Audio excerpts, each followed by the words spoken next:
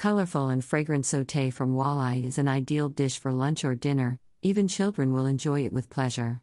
It is best to buy and cook large fish, there are fewer small bones in it. Prepare the specified ingredients. Gut the fish, peel off the scales and rinse in water. Cut off the walleye's head, tail, fins. Cut the carcass into portions. It is best to buy large fish, there are fewer small bones in it. Heat the vegetable oil in a frying pan and fry the fish pieces in it until they are browned. At this time, peel the onions and carrots from the peel, rinse in water together with the tomatoes. Cut out the green cores from the tomatoes.